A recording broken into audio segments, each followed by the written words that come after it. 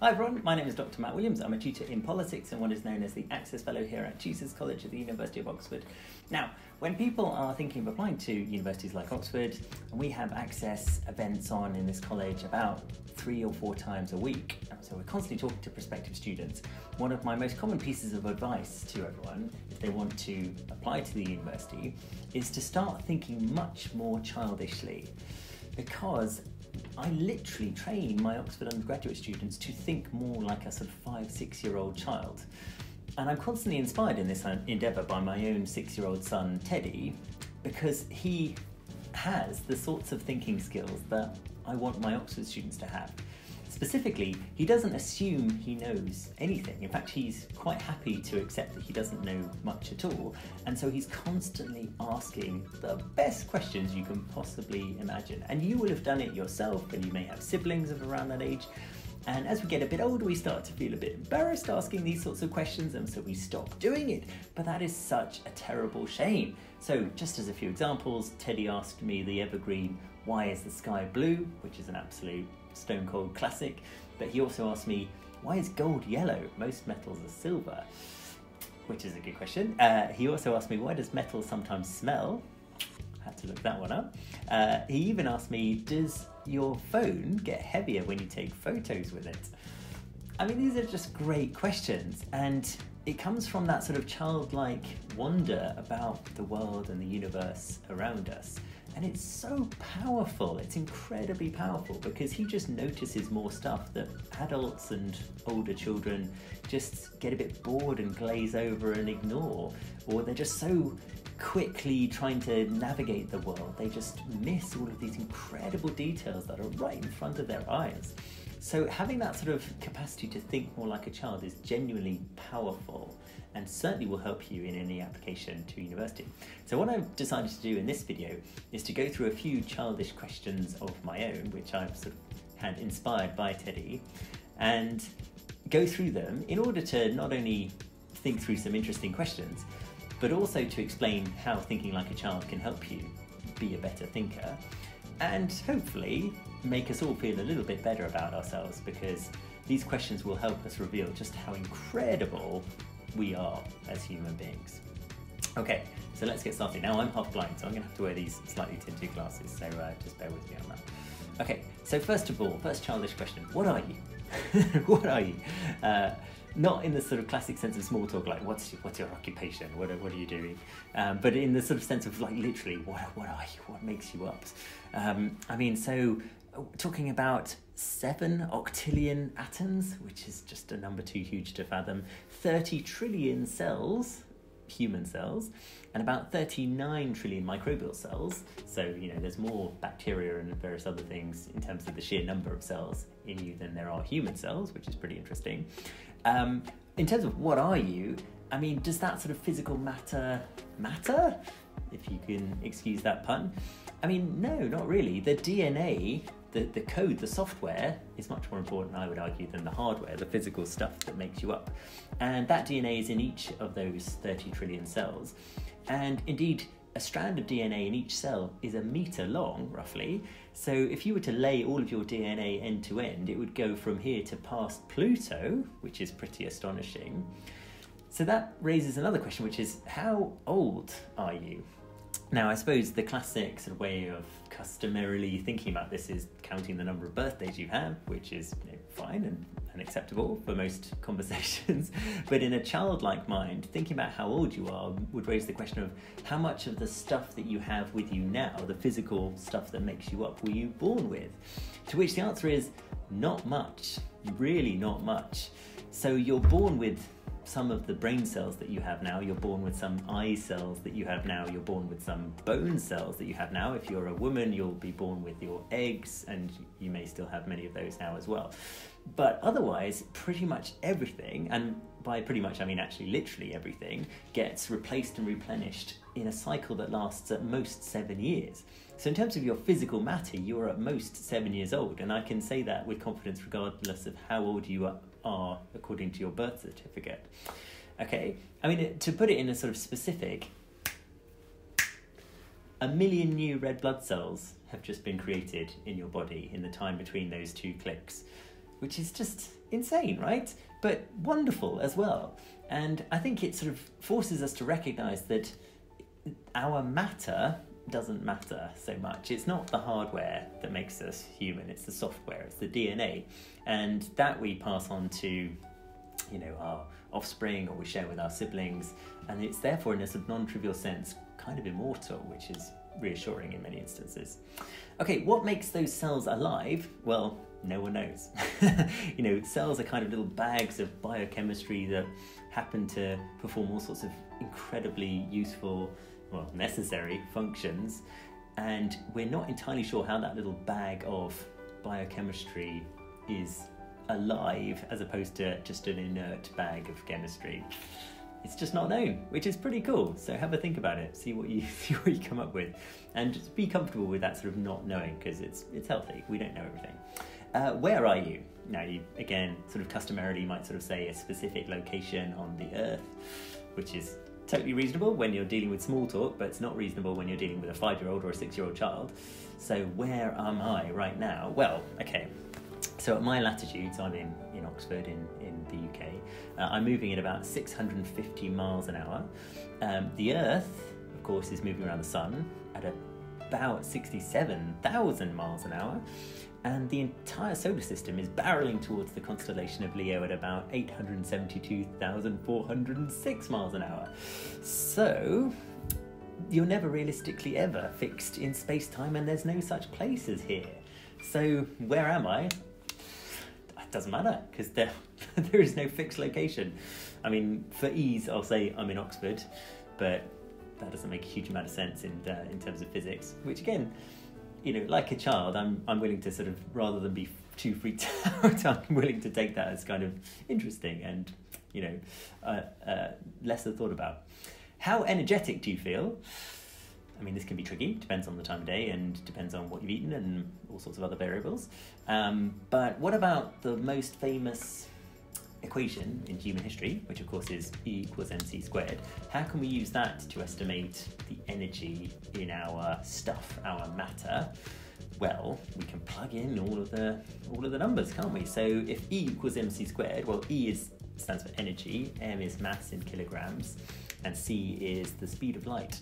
So your energy in joules is equal to your mass in kilograms multiplied by the speed of light in meters per second squared, which is an enormous number. so let's say, for sake of argument, that you're 50 kilograms. I'm definitely not 50 kilograms, but it makes the maths a bit easier, so let's just go with it. Um, so a 50 kilogram person would have energy in joules, which would be 50 multiplied by 9 times 10 to the 16 joules, which is the speed of light squared. Uh, which is equivalent uh, to one ton, uh, sorry, which is equivalent to 9 billion uh, joules, uh, no, sorry, I'm getting this all wrong, which is equal to 4.5 times 10 to the 18 joules, an even bigger number. Uh, just for sort of sake of comparison, one ton of TNT is 9 billion joules, and therefore in a 50 kilogram human being, uh, there are roughly uh, over 1 billion tons of TNT worth of energy potential, which is a, a thousand megatons, uh, which is 10 times Tsar Bomba, which is the largest thermonuclear device ever detonated. now, this obviously seems sort of slightly ridiculous, but according to Einstein's equation of E equals mc squared, a 50 kilogram person in all of their atoms and all of their stuff has sort of locked in the energy of the universe equivalent to 10 times the most powerful thermonuclear device in human history. Which again, perhaps doesn't make a whole lot of sense, but it's pretty cool to think about. I think it is anyway. Um, when are you? So this is another slightly sort of odd, childish question.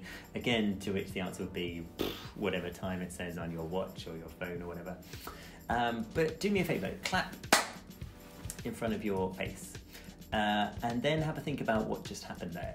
So when you clap, of course, light travelling ever so, uh, well not ever so, much faster than sound, um, the, the, the, the seeing of the clap will happen momentarily before the hearing of the clap.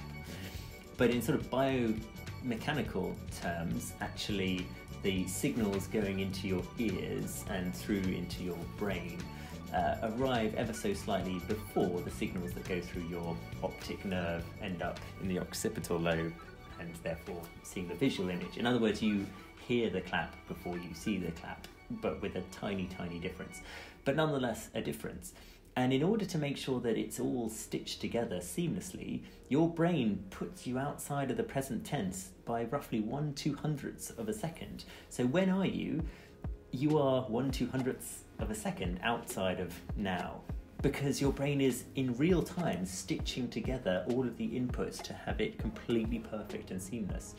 Which is kind of freaky, but also kind of mind blowing how much our brain is doing, like a permanently running editing suite of software, just stitching together all of the inputs so that they are perfectly in tune.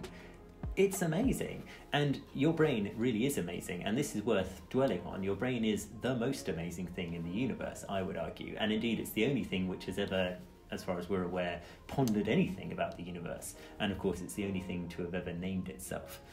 Um, so let's sort of dig into it a little bit further. I mean, the memory capacity of a human brain is two and a half petabytes, which is over two and a half thousand terabytes, or about 40,000 64 gig smartphones.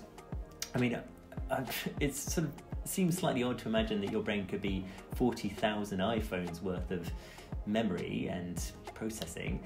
But bear in mind that you know a good 95% of your thinking uh, is unconscious, so you're not even aware of it. And stuff like you know stitching together in real time all of the inputs, and the very fact that you know the universe is not color, it doesn't come in color. Colors are produced in your brain, so you're the only organism that will ever see the universe in the palette of colors that you see it which I think is beautiful. I mean, lots of people get sort of absolutely terrified by that because they think, oh, you know, how can that all just be down to me? And of course, you know, the way we perceive colour and sound and all sorts of other inputs will be very similar to each other, but they're still unique, and I think that's kind of beautiful, personally. But tell me what you think. I hope you're not too scared by that. So, the ultimate sort of childish question is that given how just mind bogglingly insanely amazing you are and how incredible the brain is that you've got squashed between your ears, uh, what's holding you back? Now, this sounds like a sort of really sort of, I don't know, uh, mawkish sort of uh, bit of cheese to, to ask someone, you know, oh, you know, what's holding you back? This, this doesn't sound very British of me to, to ask such a, such a wholesome, earnest question. but, you know, Brits aren't all cynical, uh, I'll, I'll, let you know. Um, but what I really mean by this question is that I mean, I've I've had a lifetime of, of sort of saying no to myself in many contexts, in sort of saying, "Oh, you can't do that. You're not good enough for that. You're not clever enough. No one will want you to do that." Uh, and it's usually me sort of assessing quite inaccurately what I'm capable of, and I suspect a lot of people do that. And I I think I'm just old enough and silly enough to start asking the, the ultimate childish question of why why do that? Why live like that? Why be so cruel to yourself? It's not helpful. And why does this have any relevance to people thinking of applying to universities like Oxford? Well, the most common reason people don't get in, despite their being able to apply and being eligible to apply, is that they just don't take that step. They don't think they're good enough and they say no to themselves. And even though they would have taken a huge amount from the application process and going through it and developing their brain and thinking more childishly and thinking about the wonder of the world and themselves, they just don't take them that step because there's that nagging voice inside their head that says, You're not good enough. But you have the same kit and caboodle as any other human being.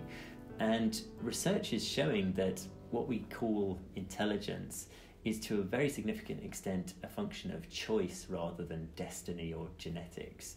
That we can do a lot more than we may think we're capable of. And actually, as I hope I've demonstrated with this video, one of the most important steps in doing more with your brain is having as much fun as possible, doing and asking silly things in order to see what works. I mean, in the animal kingdom, play is the most commonly used mechanism for learning amongst you know, young members of any species. And I think the older members of species ought to do a bit more playing. And we can learn an awful lot from young children because they notice stuff that we just don't see, even though it's right in front of our eyes.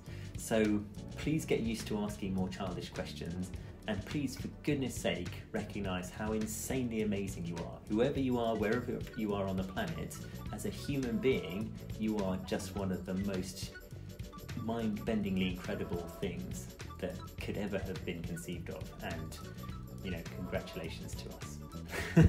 All right, thanks for watching. Let me know what you think in the comments. All the best. Bye now.